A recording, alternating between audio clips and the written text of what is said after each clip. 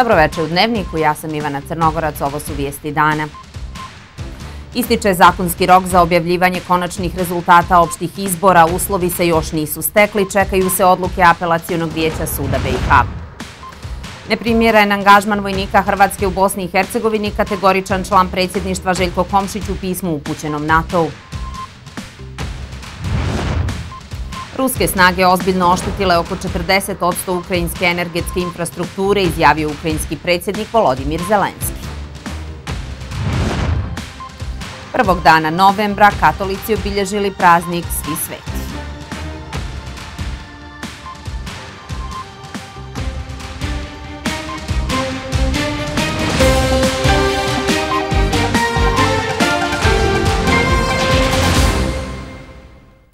Centralna izborna komisija Bosne i Hercegovine sutra će održati sjednicu na kojoj će, kako sada stvari stoje, biti dijelimično potvrđeni rezultati opštih izbora. Kako je potvrđeno za BHRT, osim za predsjednika i podpredsjednika Republike Srpske, odluka suda BiH čeka se i po drugim žalbama. Iako se nametnutim izmjenama izbornog zakona nastajao poboljšati integritet izbornog procesa, za sada je nejasno koliko se uspjelo u toj namjeri. Brojne nepravilnosti, žalbe, ali krivične prijave dovele su do toga da Centralna izborna komisija i nakon mjesec dana ne može potvrditi rezultate izbora za sve nivoje vlasti. Iako je bilo naznaka da će sjednica biti održana danas, do toga ipak nije došlo. CIK i javnost osluškuju šta će reći apelacijono vijeće Suda Bosne i Hercegovine po žalbama političkih stranaka. Najviše pažnje usmjereno je na žalbe opozicijonih stranaka iz Republike Srpske koje traže da se poništi odluka CIKA i naloži ponavljanje izbora za predsjednika i podpredsjednika Republike Srpske. Sud Bosne i Hercegovine je jučer zaprimio izbornu žalbu oporbenih stranaka iz Republike Srpske s izjašnjenjem SIPA Bosne i Hercegovine u vezi izbora predsjednika i do predsjednika Republike Srpske, a donjeće odluku u zakonskom roku koji u skladu s članom 79 zakona o upravnim sporovima Bosne i Hercegovine iznosi tri dana od dana prijema žalbe. Žalba ima 117 poglavlja vrlo kredibilnih dokaza neoborivih činjenica – na 300 i nešto stranica razno raznih dokaza koji su zaista sa najboljim advokatskim timovima i pravnicima složene. Bivša članica CIKA Lidija Korać smatra da je Centralna izborna komisija svojim postupcima uvela konfuziju i dovela u pitanje kompletan izborni proces. Kaže, na mnogo pitanja javnost još uvijek nema odgovore prilikom proglašenja rezultata izbora za predsjednike i podpredsjednike Republike Srpske nismo dobili informaciju u čemu je, odnosno koji je taj e, razlika u brojevima između gospodina Dodika i gospođe Trilić. Nismo dobili te podatke ni sa svakog biračkog mjesta da bi svi oni koji se bave izbornim procesom mogli vršiti analize. Samo u ovoj godini Sud Bosne i Hercegovine zaprimio je više od 400 žalbi u izbornim predmetima. Na sami dan održavanja izbora tužilaštvo i SIPA zaprimili su 27 prijava koje se odnose na izborne nepravilnosti. U tužilaštvu Bosne i Hercegovine uradio je 40 predmeta i čeka se donošenje tužilačke odluke. Mislim da pod ovakvim uslovima, ovakvim kršenjima izbornog zakona, a, a čiji su generatori neke od političkih stranaka, izbore u buduće ne treba održavati. Dok se ne uvedu nove tehnologije i to elektronska identifikacija birača i uvođenje skenera kojim se skenirao naš glasački listić, automatski utvrđivali rezultati izbora. Nakon što CIK potvrdi rezultate izbora, kreću rokovi za konstituisanje organa zakonodavne vlasti na svim nivoima. U političkim krugovima, daleko od očiju javnosti, već neko vrijeme traju razgovori oko formiranja koalicija koje bi mogle činiti buduću vlast. Pojedine stranke najavile su pregovore i u toku ove sedmice. Neprimjereno je da NATO u svoju misiju u Bosni i Hercegovini ili kroz misiju EUFOR Altea uključuje snage Republike Hrvatske. Naveo je to član predsjedništva Bosne i Hercegovine Željko Komšić u pismu upućenom generalnom sekretaru NATO-a Jensu Stoltenbergu, a reagujući na pismo vlade Hrvatske upućeno Alijansi. Svoj stav zasniva na tome što je vojno i političko rukovodstvo Hrvatske, kako je Komšić naveo, presuđeno za ratne zločine u Bosni i Hercegovini.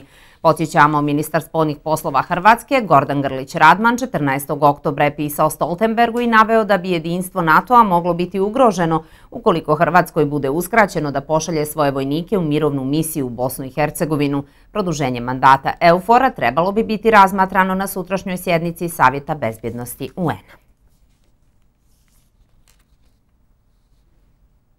Suspenziju tužiteljice Dijane Kajmaković treba potvrditi i drugostepena komisija i to u kratkom roku, no ukoliko bude bilo žalbe, ona neće ugroziti odluku o njenom udaljenju s pozicije zamjenika glavnog tužioca tužilaštva Bosne i Hercegovine. Mjera suspenzije neće uticati na disciplinski postupak koji se vodi protiv nje, čelni ljudi pravosudnih institucija, bez komentara do okončanja postupka. Prvostepena disciplinska komisija Visokog sudskog i tužilačkog vijeća Bosne i Hercegovine, odlučujući po zahtjevu Ureda disciplinskog tužioca VSTV-a, donijela je odluku kojom se Dijena Kajmaković udaljava od vršenja dužnosti zamjenika glavnog tužioca tužilaštva Bosne i Hercegovine. Kako tužena obnaša dužnost zamjenika glavnog tužioca tužilaštva Bosne i Hercegovine, prvostepena disciplinska komisija VSTVA smatra da vođenje disciplinskog postupka uz istovremeno obavljanje rukovodne dužnosti ugrožava kredibilitet navedene pravosudne institucije. Dok se čeka pravosnažna odluka disciplinske komisije, čelni ljudi pravosudnih institucija nisu željeli komentirati, kako kažu, ovu fazu postupka.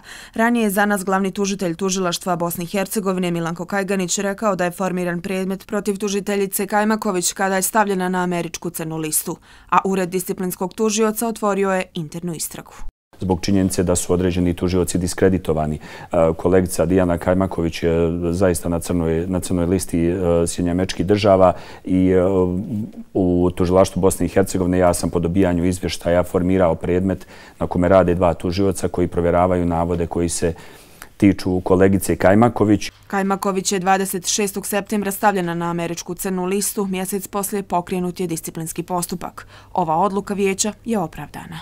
To nije utvrđena krivnja, to je samo mjera kojom se obezbeđuje da se disciplinski postupak završi u miru, da se javnost ne iritira time da ljudi u isto vrijeme obnašaju značajne funkcije, a nalaze se uvjetno rečeno na optuženičkoj klupi. Drugostepena e, komisija će vrlo brzo odlučiti u tom pogledu, ali to nije odluka u disciplinskom postupku vezano za meritum, za ono za što je ona optužena, a to utvrđenje može potrajati i godinu dana. Naravno, ovo jeste velika afera pravosuđa, posebno je značajno da je ova tužiteljica stavljena na crnu listu američkih vlasti, tako da u tom smislu je e, pozitivno da imamo e, zaista korake koji se poduzimaju da se osigura integritet, da se osigura e, da eventualno ne postoje dugoročne negativne posljedice po tužilaštvu Bosne i Hercegovine. Slučaj Kajmaković biće test za BiH pravosuđe u smislu zaštite integriteta, ali i ono najvažnije vraćanje povjerenja građana u pravosudne institucije.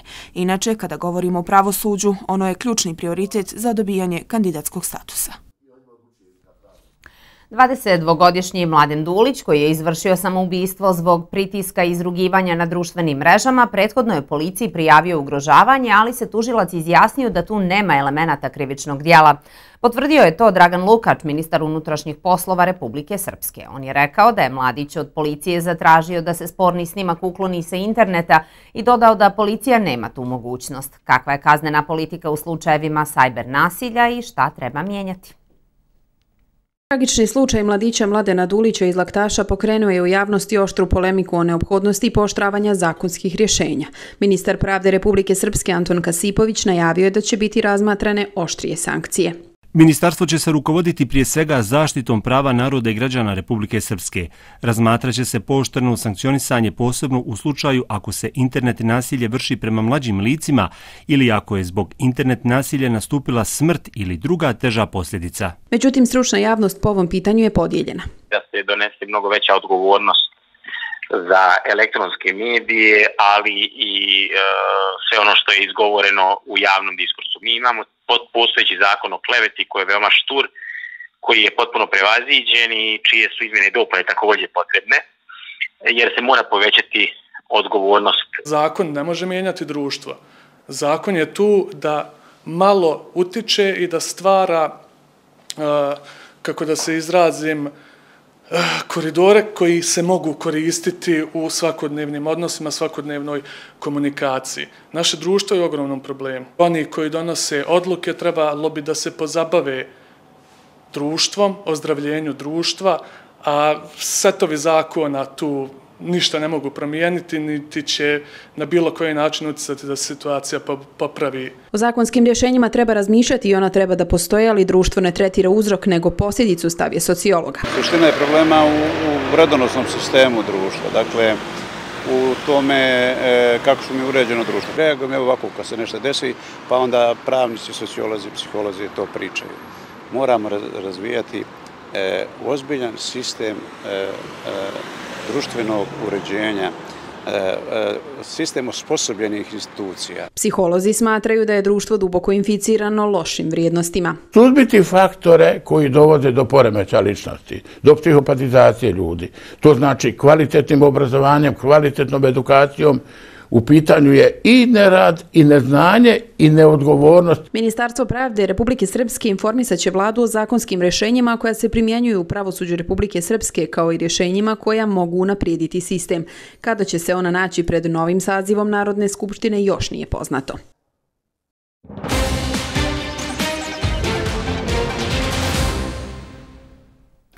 Ukrajinsko ratno vazduhoplovstvo danas je objavilo da trenutno nema efikasan način odbrane od balističkih projektila koje Iran prema novim izvještajima planira poslati Rusiji.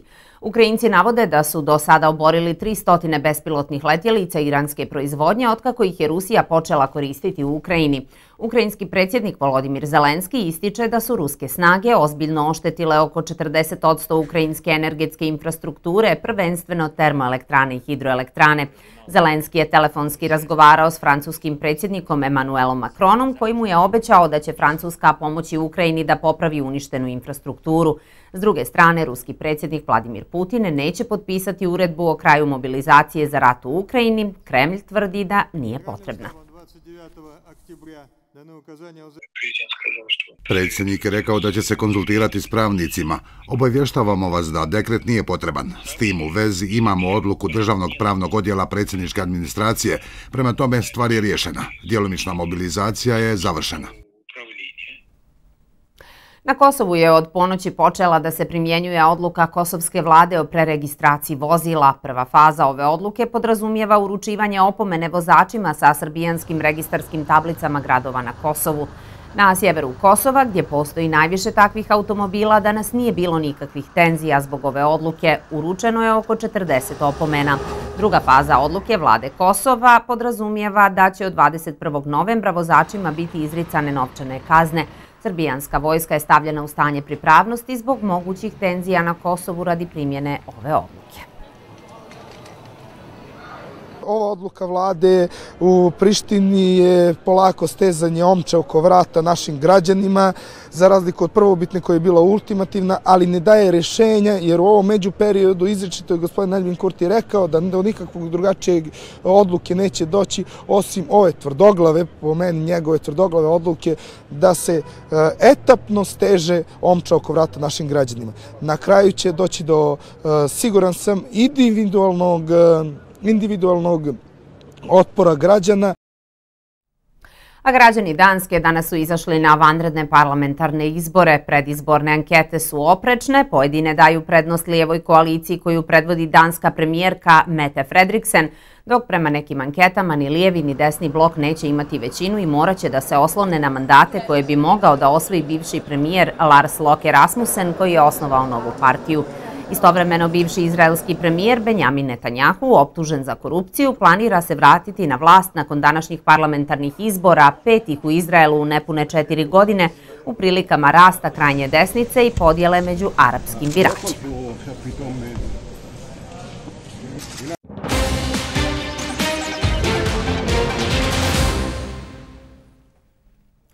Nakon kraćeg zatišja tokom ljeta, migranske rute u Bosni i Hercegovini ponovo su aktivne. Samo u septembru na dnevnoj bazi je zabilježeno više od 200 ilegalnih migranata, a ovaj put sve veći broj onih koji dolaze iz afričkih zemalja.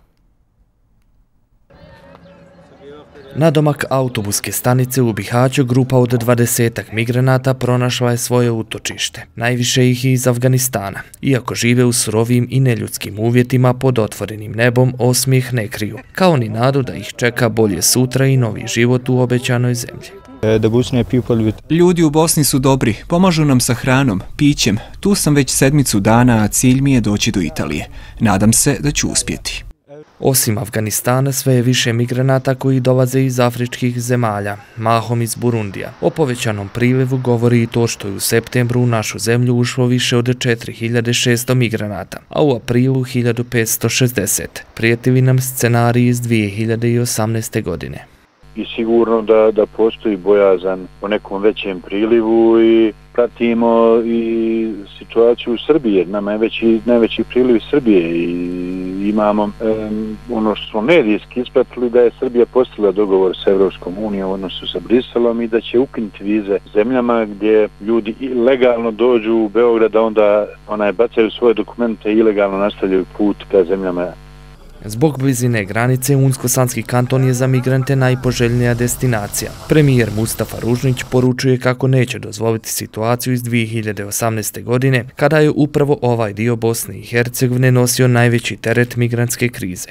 Nema više onog rješavanja problema na način da se on izmješti u tuđe tvorište, odnosno dvorište Unsko-Sanskog kantona, jer mi to sigurno kao i građane, kao i vlasti, kao nosioci aktivnosti nećemo sebi više dozvoliti jasno smo poručili svima da Unsko-Sanski kanton je ispoštovao sve dogovore kada je u pitanju Brisel iz 2019. godine, da su zatvorene ad hoc centri, da je zatvoren Vučjak, da smo dali zajedno lokaciju, izgradili privredni prihvatni centar, ali da ne možemo biti jedini onaj, u Bosni i Hercegovini, da Bosna i Hercegovina, odnosno državne institucije, moraju ispoštovati i taj dio da se ravnomjerno rasporedi imigranti na području Bosne i Hercegovine ako taj val počne onaj njegov intenzitet. Bezbjednostna situacija u Unsko-Sanskom kantonu je trenutno zadovoljava zabrinjavajuća. Kažu to i u MUP-u navodeći da u posljednje vrijeme od strane migranata nije bilo krivičnih dijela sa većim stepenom, a za sada ni lokalno stanovništvo strah ne osjeća.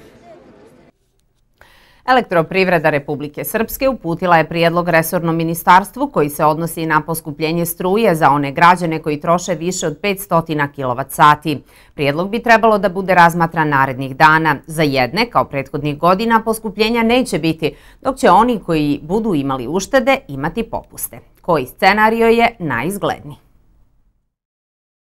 U elektroprivredi Republike Srpske kažu da je prijedlog da se drugačije fakturišu računi za struju onim građanima koji troše više nego prethodnih godina, a tu se prevashodno misli na one koji domove zagrijavaju na struju. Da neko ko troši električnu energiju u nekim određenim količinama, primjera radi do 500 kWh električne energije, on treba da ima povoljniju cijenu električne energije. A neko ko troši naš resurs Republike Srpske u većim količinama, nije problem da plati tu razliku po većoj cijeni.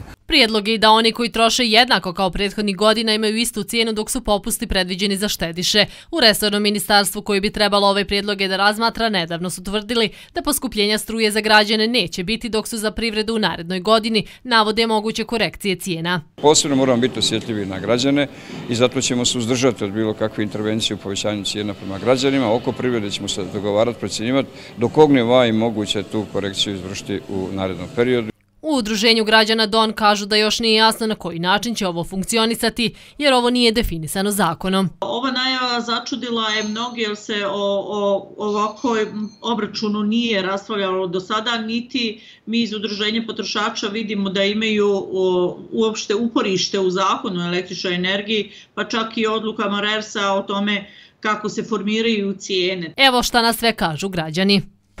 To je jedna igra koja se znala i prije izbora, sam se čekao da se izbori završe i da se to narod servira.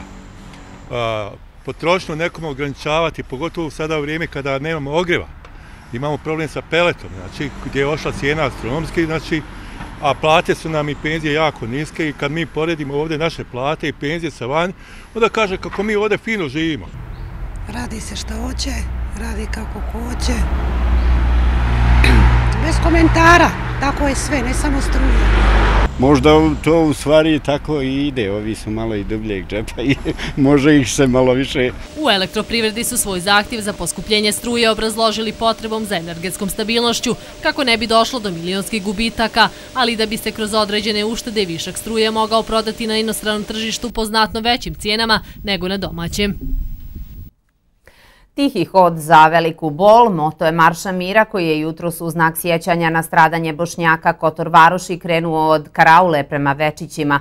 Više od 80 učesnika trodnevnog pohoda krenulo je putem kojim je na današnji dan 1992. godine bježalo više stotina stanovnika Večića i okolnih sela Kotor Varoši. Dolazak u Večiće se očekuje u četvrtak, gdje će biti upriličeno centralno obilježavanje stradanja Bošnjaka Kotorvaruši i ukop osam stradalih Kotorvarušnih Bošnjaka. Predstavnici porodica žrtava još jednom su uputili zahtjev i apel nadležnim institucijama da ubrzaju proces traženja nestalih još 238 ubijenih Bošnjaka. A prvog e, dana novembra katolici obilježavaju praznik Svi sveti, dan kada se slave sveci i svetice koje je crkva kanonizovala, odnosno proglasila svetima, kao i oni koji su ostvarili ideal hrišćanskog života. Uz praznik Svi sveti veže se i dušni dan koji se obilježava sutra kada se vjernici na poseban način sjećaju preminulih. Katolički vjernici ovih dana se na poseban način prisjećaju najmilijih. Za njih se mole, nose cvijeće i pale svijeće na grobovima. Ovo je jedan svadanačni dan kad su posjete mrtvi i ono što kaže jedino im to preostaje da se može prisjetiti njih i donijeti cvijeće, upaliti svijeću, pomoliti se dragom Bogu za njihove duše. Ja sam ovaj prošli tjedan cijeli bila, svaki dan dolazla molila, išla po rod, gdje su mi roditelji, sestre, ovdje ima svekra, svekrvu, muža, za ovu sestru, sestre muža, svima ide, molim Boga. Bog im dao pokoj vječni i svakom ko nema ko moli za nje, ja molim. Groblja u ovo doba godine dobijaju posebnu živost. Služe se svete mise za pokojnike, vjernici obilaze grobove i na simboličan način se susreću s najmilijima u Hercegovini i drugdje na cijeloj zemaljskoj kugli, sve u pokretu, sve s naramkom krizantema u rukama, sa svijećama, lampašima, jeli, ide se pokojnom ocu, pokojnom mami, supruzi mužu, ide se svojoj obitelji pokojnoj, ide se na spomen znakove onih ljudi koje mi u svom životu častimo i koji su zaslužili da budu dakle, i u koru svih svetih i u koru svih vjernih mrtvih. Crkvena liturgija ističe kako u središtu svih svetih i dušnog dana nije smrt, nego život. Na taj način slavi se izražava nada kršćanske vjere u zagrobni život, vjerujući da se život ne oduzima, nego samo mijenja.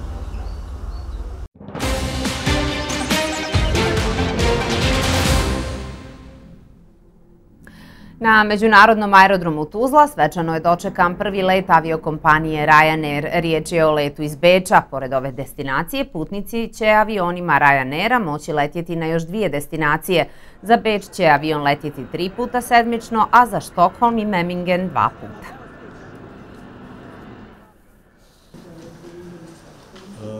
Kada pričamo o Ryanairu, bitno je napomenuti da je to trenutno najveća aviokompanija po svim statističkim pokazateljima i mi na aerodromu Tuzla dolaze kraja Nera vidimo kao ogroman potencijal za budući razvoj kako zračnog saobraćaja, koji će sam po sebi generisati svaki drugi vid razvoja Tuzlanskog kantona i Bosne i Hercegovine u cijelinu. Tamo gdje dođe Ryanair zaista se dešava jedan procvat ova, jer zaista i raste e, znatno broj dolazaka, e, broj turista, što je izuzetno važno za cijelu industriju turizma.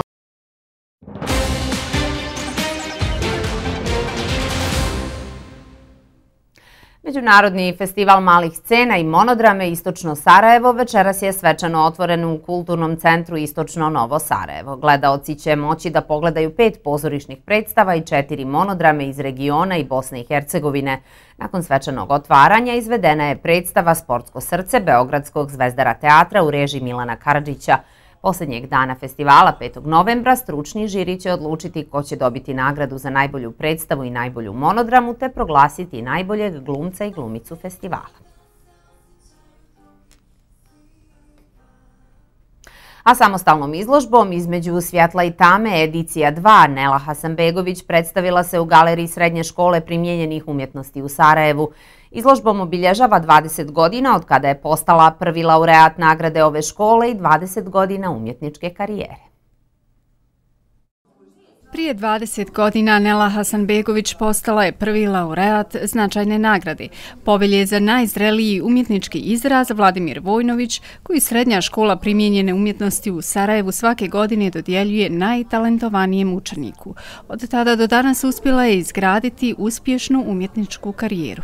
Izuzetno nam je drago što je Nela napravila jednu veliku uspješnu karijeru u ovih 20 godina e, ta povelja, ta nagrada je na neki način je bila sigurno vjetar u leđa i ona je krenula ovaj, svojim putem, put umjetnosti. Gracioznost i subtilnost primjećuju se na izložbi u galeriji srednje škole primjenjenih umjetnosti na kojoj se autorica igra svjetlom i tamom radovima od pamučnih niti raspoređenim u prostoru osvjetljenim neonskim svjetlima.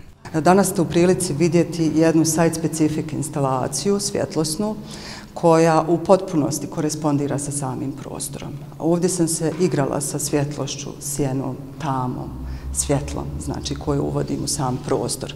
Za Nelu Hasanbegović posebna je radost što upravo u prostoru ove galerije, gdje je njena karijera počela kada je dobila nagradu, obilježava 20 godina umjetničke karijere, a krajem godine namjerava nastaviti obilježavanje značajnog jubileja. I bilo bi to sve u dnevniku. Hvala za pažnju, laka vam i ugodna noć.